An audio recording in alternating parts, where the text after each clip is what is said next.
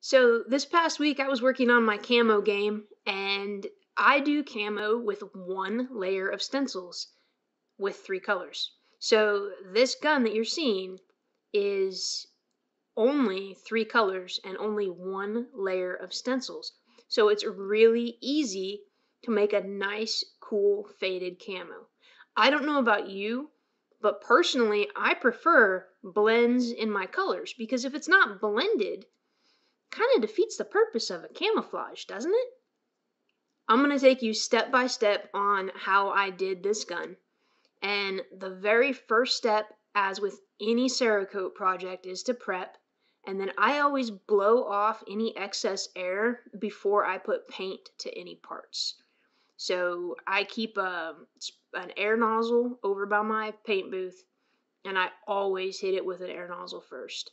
Once everything's looking good, it's the base coat goes down.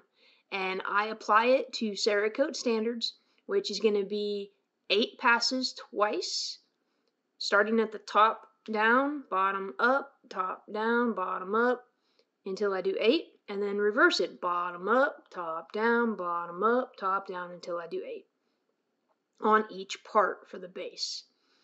Now, one of the things about the way I do camo is I use a wet on wet application. Now, if you've watched my Kryptek video, then you'll know that wet on wet allows you to do some pretty cool fades. And that's exactly what we see here with this camouflage. The good thing about it is, again, one layer of stencils. So we're not having to go crazy with stencil coat, stencil coat, stencil coat to get all those little pieces. It's able to do it with just one one layer of stencils. So getting the inside of handguards can be a little tricky, so I always have a clean glove and I'll actually take the handguard off of the rack, adjust my spray gun down, and just kind of feather uh, the inside of the handguard. That allows us to get some coating on the inside and the areas that maybe it won't spray through. And then it also allows it to get the inside of all of those notches on the handguard. So it's nothing crazy, just real easy. Just lower that paint gun down and just kind of feather it out both directions. And then on the thicker part, just get a little bit on that inside so everything's got a nice solid coating. So once everything has a nice base coat, you still have to let it ambient flash. So I let those parts sit for 10 to 15 minutes just with the black base coat. After that, before they go in the oven for the first time, I bring them back to my paint booth. And then I'm hitting them with my other colors. And the first color I hit this with is going to be green. And I'm very particular in where I hit because I want there to be continuity from my upper to my lower. So I just kind of pick a few different spots on the lower receiver and I hang the upper next to it so I can see them next to each other on how they are. And once I get that color on the lower, I move the lower over and then put the upper up on the rack. And again, I orient those items so that I can make sure there's color continuity from upper to lower. And I know with these colors all being darker colors, it's hard to see. I tried a different camera angle and and I kind of failed on that because you get the back of my head. So, but again, it's just wet on wet and trying to line up roughly where the colors are relative to the other parts that are being done. That way, there's there's that continuity from upper to lower to handguard.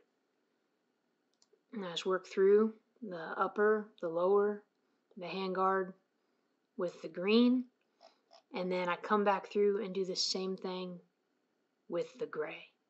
And again, it is a process and it's all just kind of winging it. Um, it's what you think might look good. Honestly, every single camo I've ever done, I feel like it's going to look like crap. And then when I take the stencils off, it's like, oh, hey, all right, cool, looks great. Um, it's really hard to visualize when you're doing the wet on wet, but you really get those solid blends. And you can kind of see here um, on these items as they're hanging uh, what they look like with that wet on wet on them. Now, once the wet on wet has its ambient flash, then it goes in the oven for your first cure. And I do 15 to 20 minutes on the first cure. I'm only doing two coats. So Um, I'm not too worried about over flashing it because I'd have to do 30 minutes or more to really do that. But I want to make sure it's safe to handle because I will be handling and stenciling the entire project.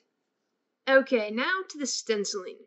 Stenciling is a bit time consuming. Uh, one thing I always do is put the parts together so that I have cohesiveness in my stencils as well.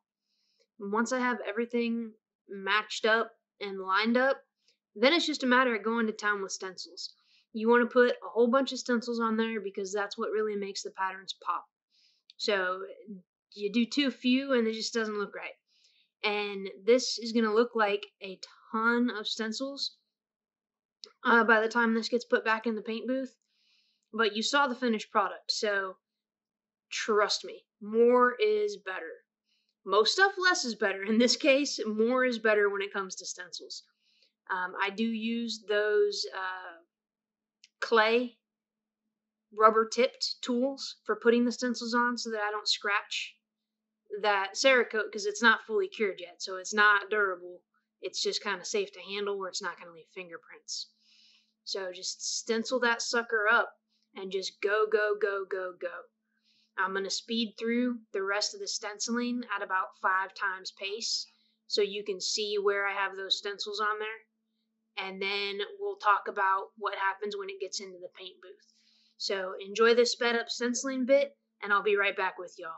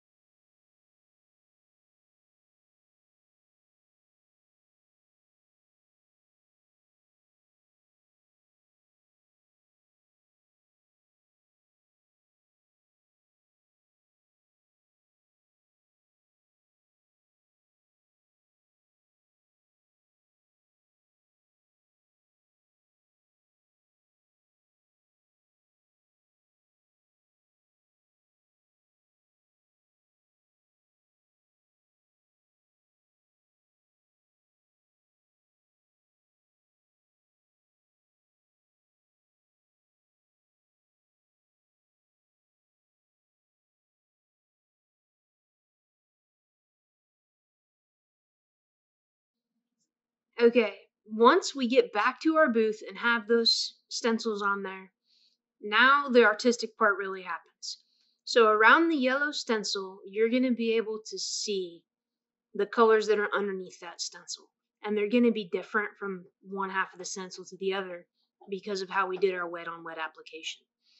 Now you tone down your spray gun and then you want to make sure you put a different color over top. So if you've got your yellow stencil and you can see black, you want to put either gray or green. If you can see green, you want to put either gray or black. And if you can see gray, you want to put either green or black. And you just work your way across the entire project until you have lightly covered the edges of all of those stencils with a different color than what you could see originally. And you just go, go, go. And it is time consuming to do it right, especially if the colors are close, like on this project. But again, you saw the finished product. So, uh, you know, you just got to be patient. And you can see here on this upper and lower combination, you're not going thick. You're still going to be able to see some of that yellow stencil underneath that color. But that's what you got to do in order to get that nice blended camouflage look um, on this gun. Once the upper and lower is done uh, with one color, I move on to the handguard, and really you just kind of bounce back and forth until you're satisfied. And trust me, if you're anything like me, you're never going to be satisfied until you get it completely done and put it together because it's so hard to visualize what that's going to look like with those stencils off and assembled into a gun. But work the process and trust it. And like I said, practice on something, maybe a ceramic tile. Um, and just you can do that with any color combination and you'll get the gist of it. So when I was first doing it and wanting to do different patterns, when I had two or three solid projects in the shop, I'd have a tile or two prepped and I would do those with the leftover colors from the single things because you know you always mix too much paint, so you always have that little bit extra. Um, so yeah, uh, just this is the process. So I'm gonna speed through the rest of the painting of the handguard and the upper and the lower with that second coat, and then that stuff goes in the oven. Um, once it goes in the oven, you cure it out. Uh, you can go either way. You can leave the stencils on at full cure temp um, I cure everything at 250, depending on the substrate. I cure all metals at 250. Depending on the substrate, uh, you can go up to 300 or you can go keep it at 180 for polymers. With ARs, I just do it at 250 because not every color is 300 friendly, and I just like to be consistent and not have to think about other factors. So um, you can leave the stencils on, or you can put it in for 20 or 30 minutes at 180 and then take the stencils off and then full cure. Uh, people do it both ways.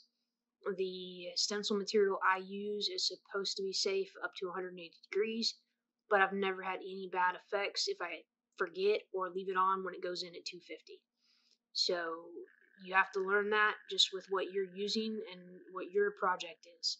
So once this is done, um, you're that's it. You know, we assembled the rifle and took nice, pretty pictures. So it's really a simple camouflage. And thank you all for watching. If you like the content and want me to be able to keep putting out videos, please share the video, like the video, and subscribe to the channel. As of right now, I'm doing all of these videos and um, I'm not in this to make money, but YouTube does not monetize you unless you have a thousand subscribers and 4,000 watch hours and I'd like to be able to continue to do more projects and do stuff uh, and do giveaways, you know. But until I have some way to afford that, um, I can't just give stuff away without something coming in. So please like, subscribe, and, and help me grow this channel if you like the content. Uh, if you don't like the content, sorry. Um, hopefully you find something you do like.